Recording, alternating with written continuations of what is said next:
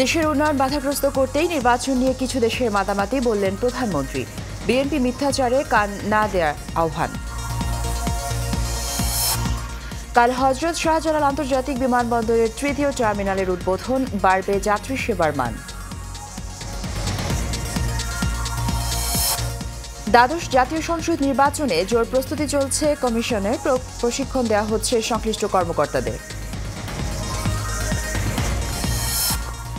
এবং টানা বৃষ্টিতে জলাবদ্ধতায় বিপর্যস্ত রাজধানী সহ দেশের বিভিন্ন অঞ্চল, মুন্সীগঞ্জে পদ্মার তীব্র ভাঙন, বন্যার প্রভাবে লাগামহীন সবজির বাজার।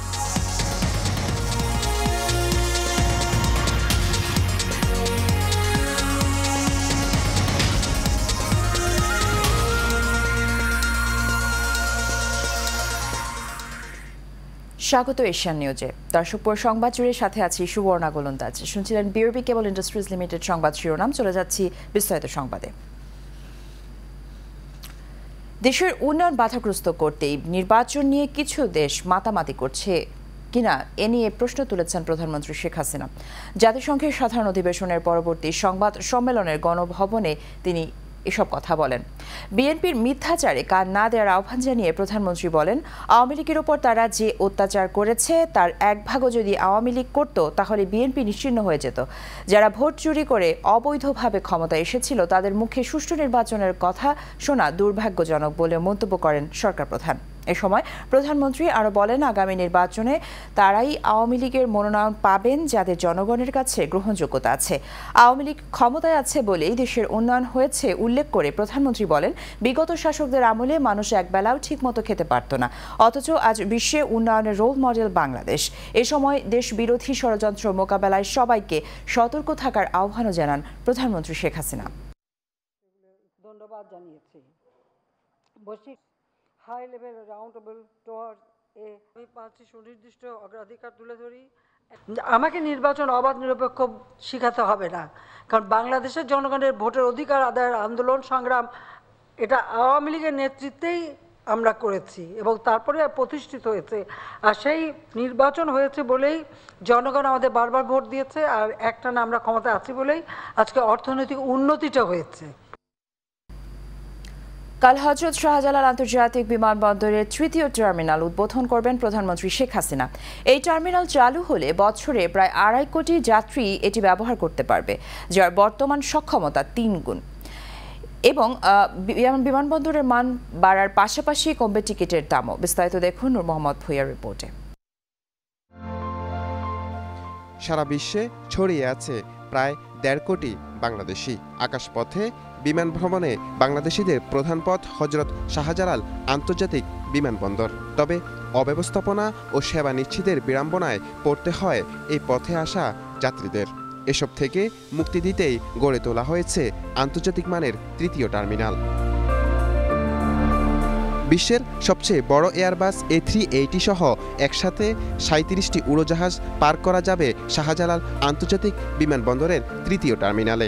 একশো আঠাশটি ইমিগ্রেশন কাউন্টার আর একশো পনেরোটি চেক ইন কাউন্টারের যাত্রীরা সহজেই আনুষ্ঠানিকতা সারতে পারবেন। পণ্য আমদানি রপ্তানির জন্য রয়েছে তেত্রিশ হাজার বর্গমিটারের স্বয়ংক্রিয় কার্গো টার্মিনাল।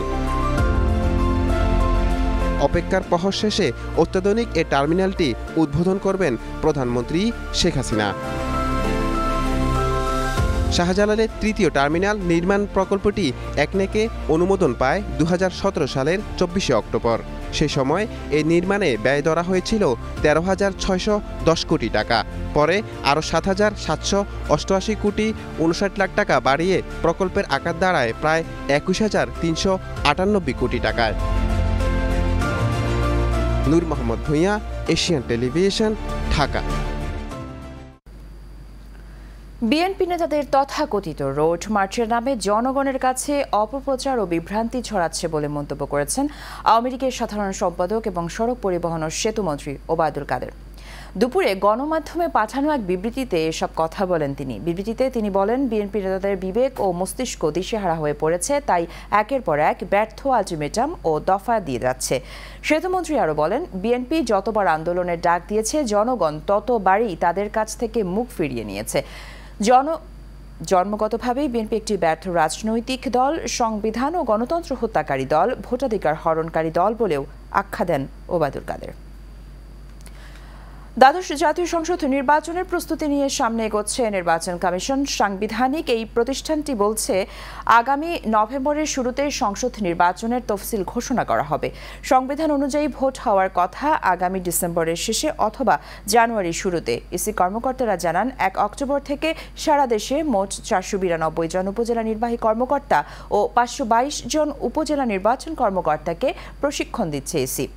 এইচ এ মিতুর বিশেষ প্রতিবেদনে দেখুন বিস্তারিত। জাতীয় নির্বাচন সামনে রেখে চলতি মাসের শুরুতেই নির্বাচন সংশ্লিষ্ট এই কর্মকর্তাদের প্রশিক্ষণ কার্যক্রম শুরু হয়। নির্বাচনী প্রশিক্ষণ ইনস্টিটিউটের তত্ত্বাবধানে সারা দেশ থেকে এতে অংশ নিচ্ছেন হাজারেরও বেশি কর্মকর্তা। এ বিষয়ে ইটিআই মহাপরিচালক এস এম আসাদুজ্জামান এশিয়ান টেলিভিশনকে জানান, দ্বাদশ জাতীয় সংসদ নির্বাচনে যারা দায়িত্ব পালন করবেন, তাদেরই প্রশিক্ষণ দেওয়া হচ্ছে। প্রিজাইডিং অফিসার সহকারী প্রিজাইডিং অফিসার পোলিং অফিসার এদের যদি আমরা যথাযথ প্রশিক্ষণ না দিতে পারি, তাহলে ইলেকশনটা তার ভালো উঠে আসতে পারবে না। এরা যেন ভালোভাবে ইলেকশনটাকে উঠে আসতে পারে, একদম ভোট সেন্টারে ভালোভাবে ইলেকশন অপারেশন করতে পারে, কোনো ধরনের ত্রুটি বিচ্যুতি ছাড়া। এই জন্য তাদেরকে আমরা ভালোভাবে প্রশিক্ষিত করার জন্য যাবতীয় ব্যবস্থা গ্রহণ করেছি।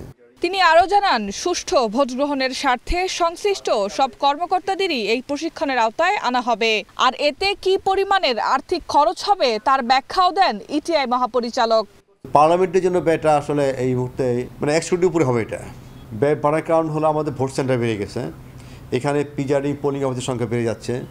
তারপরে ইউনোদের যে ট্রেনিংটা হচ্ছে, এই ট্রেনিংটা দিসের ফার্স্ট টাইম আমরা এই দুই দিনব্যাপী ট্রেনিংটা করাচ্ছি। এর আগে কখনো এইভাবে হয় নাই। এবার ডিসিদের কখন এইভাবে দিনব্যাপী ট্রেনিং হয়? দিস ফার্স্ট টাইম তো আমরা চাচ্ছি ইন ডেপথ ট্রেনিং করানোর জন্য। কারণ আমাদের নতুন কিছু উদ্যোগ আছে, আইনের সমস্যা হয়েছে আপডেট আছে আইনের, তারপরে অনলাইনে বিষয় আছে অ্যাপসের বিষয় আছে, এই সব মিলেই আমরা এই ব্যাটা একটু বেড়ে যাচ্ছে যাবে এটা আর ইসির অতিরিক্ত সচিব অশোক কুমার দেবনাথ জানান, বেশ কয়েকটি আইনের সংশোধন করা হয়েছে।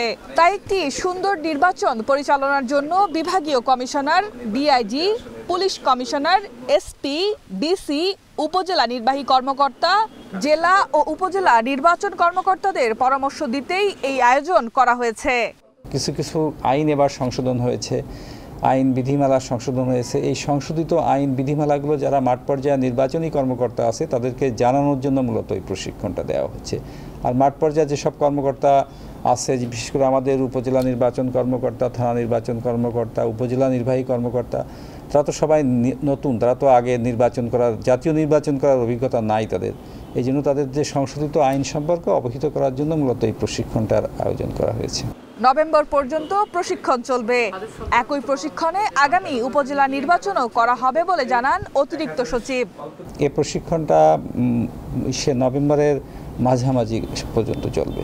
আমাদের শিডিউল অনুযায়ী। আর সংসদ নির্বাচনের পরে ইনফ্যাক্ট জাতীয় উপজেলা নির্বাচনের জন্য বেশি সময় পাওয়া যাবে না তখন এই প্রশিক্ষণ দিয়েই তাদের কাজ মানে করানো যাবে আর কি।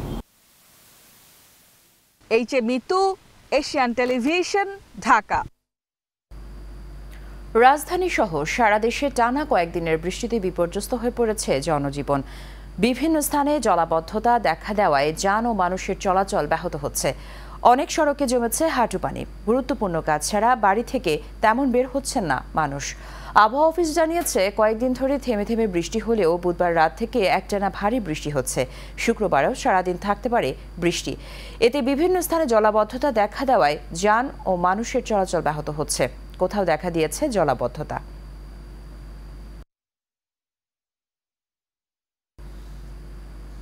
পদ্মার তীব্র ভাঙনে মুন্সীগঞ্জের লৌহজংয়ের দশটি বসত বসতবাড়ি নদীগর্ভে বিলীন হয়ে গেছে। এছাড়াও ভাঙন আতঙ্কে সরিয়ে নেওয়া হয়েছে আরও পনেরোটি বসতঘর। সকাল থেকে জেলার লৌহজং উপজেলার লৌহজং ডেউটিয়া ইউনিয়নের বড় নওপাড়া এলাকায় আকস্মিক এই ভাঙন দেখা দেয়। স্থানীয়রা জানান, সকাল থেকে হঠাৎ করেই তীব্র ভাঙন শুরু হয় পদ্মার তীরবর্তী এলাকা নওপাড়ায়। মুহূর্তের মধ্যেই দশটি বসতবাড়ি নদীগর্ভে বিলীন হয়ে যায়। পরে ভাঙন আতঙ্কে আরও পনেরোটি বসতঘর সরিয়ে নেওয়া হয়েছে। দ্রুত ভাঙন রোধ করা না গেলে ভাঙনের কবলে পড়বে লৌহজং ডিগ্রি কলেজ সহ সরকারি, বেসরকারি বহু স্থাপনা। এদিকে ভাঙন কবলিত এলাকা পরিদর্শন করেছেন পানি উন্নয়ন বোর্ড ও মুন্সীগঞ্জ জেলা প্রশাসনের ঊর্ধ্বতন কর্মকর্তারা। দিন দিন লাগামহীনভাবে বেড়েই চলছে সবজির দাম। কাঁচা পেঁপে ছাড়া ষাট টাকার নিচে কোনো সবজি কিনতে পারছেন না ক্রেতারা। দাম অস্বাভাবিকভাবে বাড়ায়, চরমভাবে অস্বস্তিতে পড়ছেন নিম্ন ও মধ্যম আয়ের মানুষ। গত চোদ্দ সেপ্টেম্বর প্রথমবারের মতো ডিম, আলু, পেঁয়াজ দাম সরকার নির্ধারণ করে দেয়, তবে এর প্রভাব এখনও পড়েনি বাজারে। আজ প্রতি কেজি মূলা বিক্রি হচ্ছে আশি টাকা, কচুরমুখী একশো টাকা, সিম দুশো টাকা, ফুলকপি ও বাঁধাকপি প্রতি পিস ষাট টাকা। আলু পঁয়তাল্লিশ টাকা, শালগম আশি টাকা, গাজর একশো বিশ টাকা, বেগুন নব্বই টাকা, টমেটো একশো বিশ টাকা, শসা সত্তর টাকা এবং পেঁপে তিরিশ টাকা কেজি দরে বিক্রি হচ্ছে। এছাড়াও আরও এক দফা বেড়েছে ডিম মুরগির দাম।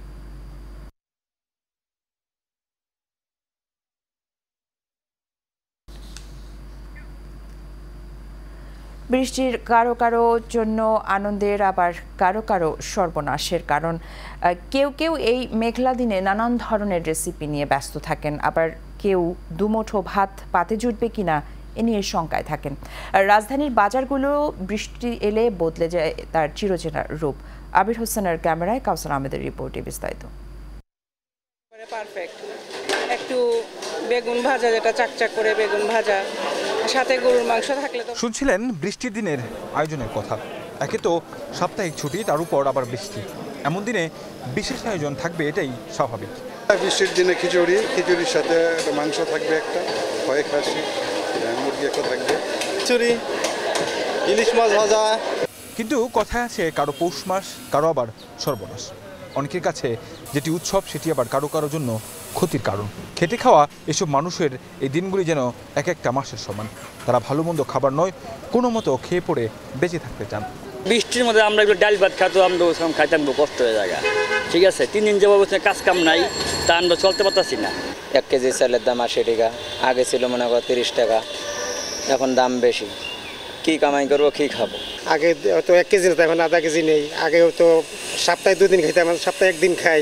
তবে যাই হোক বাজারের যে পরিস্থিতি অবস্থায় সবাই একটু হিমশিম করে দিন পার করছেন বলে জানান ক্রেতা বিক্রেতা উভয়েই। কফর আহমেদ, এশিয়ান টেলিভিশন, ঢাকা।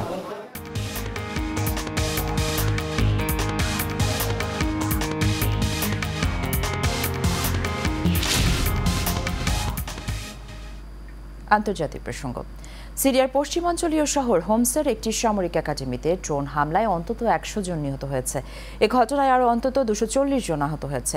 আহতদের মধ্যে অনেকের অবস্থাই গুরুতর। বৃহস্পতিবার সন্ধ্যার দিকে এই হামলার ঘটনা ঘটে। নিহতদের মধ্যে সেনা সদস্য ও কর্মকর্তাদের পাশাপাশি নয়জন বেসামরিকও রয়েছেন।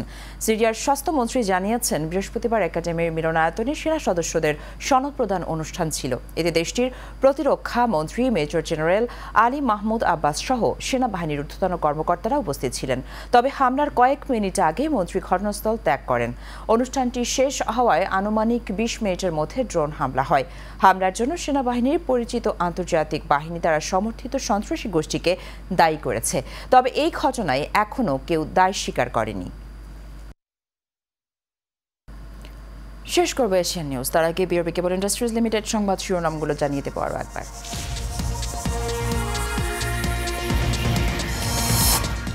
দেশের উন্নয়ন বাধাগ্রস্ত করতে নির্বাচন নিয়ে কিছু দেশের মাতামাতি বললেন প্রধানমন্ত্রী। বিএনপি মিথ্যাচারে কান না দেওয়ার আহ্বান। কাল হজরত শাহজালাল আন্তর্জাতিক বিমানবন্দরের তৃতীয় টার্মিনালের উদ্বোধন বাড়বে যাত্রী সেবার মান।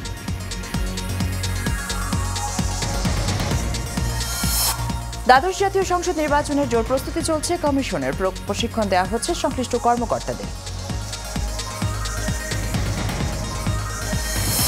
এবং টানা বৃষ্টিতে জলাবদ্ধতায় বিপর্যস্ত রাজধানী সহ দেশের বিভিন্ন অঞ্চল, মুন্সীগঞ্জে পদ্মায় তীব্র ভাঙন, বন্যার প্রভাবে লাগামহীন সবজির বাজার। এশিয়া নিয়ে এ পর্যন্তই। আমাদের পরবর্তী সংবাদ দেখার আমন্ত্রণ রইল। ধন্যবাদ সাথে থাকার জন্য।